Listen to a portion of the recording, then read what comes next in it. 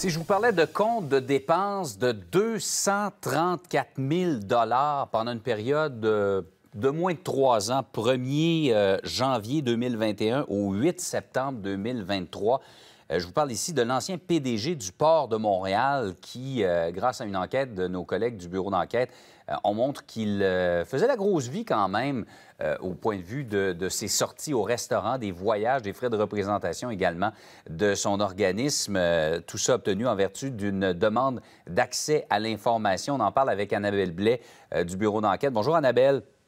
Bonjour. Des exemples de ce que M. Imblot, Martin Imblot, euh, l'ex-PDG en question, avait comme dépense?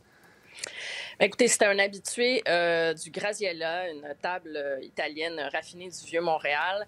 il est allé une trentaine de fois là, en peine deux ans et demi. Il a dépensé pour 10 000 par exemple. Donc, le 23 novembre 2022, il charge 3200 dollars là pour un repas avec le conseil d'administration et le comité de direction euh, de Port de Montréal. Donc, c'est une quinzaine de personnes. Ça fait quand même un, repas à peu près 220 dollars par personne.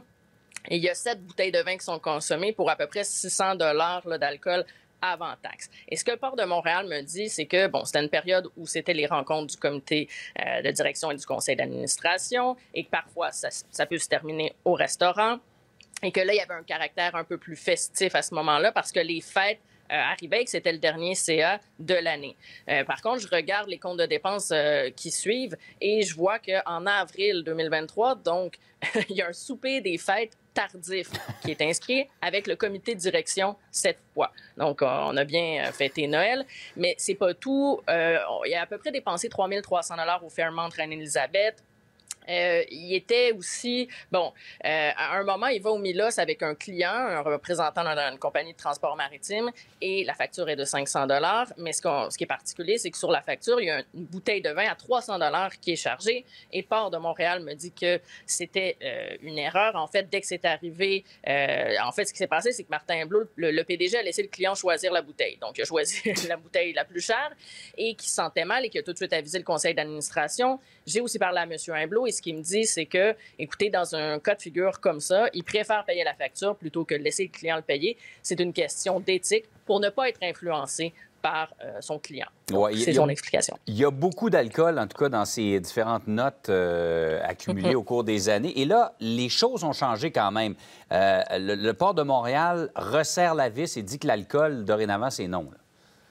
Oui, c'est ça. En fait, en janvier, ben, en février plutôt, il y a une nouvelle PDG qui est arrivée, Julie Gascon, qui, euh, elle, arrive de la fonction publique. Et donc, quand elle est arrivée, elle a demandé à ce que les politiques soient revisées. Ils ont demandé de l'aide d'une firme externe pour ça. Donc là, la révision des politiques est en cours, mais déjà, le 22 euh, avril, ils ont annoncé qu'il n'y aurait plus d'alcool. Et je peux pas m'empêcher de remarquer que, bon, j'avais fait ma demande d'accès en mars. J'ai demandé à, Port, à Port de Montréal si ça a joué dans la balance le fait que, bon, le bureau d'enquête s'intéresse un peu à la question.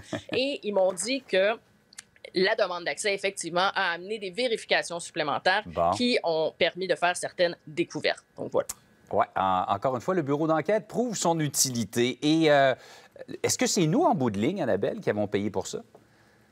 Bien, écoute, c'est important de le préciser. Port de Montréal, c'est une agence fédérale autonome. Ça veut dire qu'elle doit s'autofinancer ses activités, ses coûts d'opération. Donc, on n'a pas payé pour les comptes de dépenses de Port de Montréal, ça c'est ce qu'on me dit. Mais il faut savoir que Port de Montréal, le port ne lui appartient pas. Là. Il le gère, le port, au mhm. nom du gouvernement du Canada. Donc, c'est un service public et il reçoit des subventions, euh, que ce soit du gouvernement provincial ou fédéral, pour des projets comme l'expansion de ses activités à contre-cœur.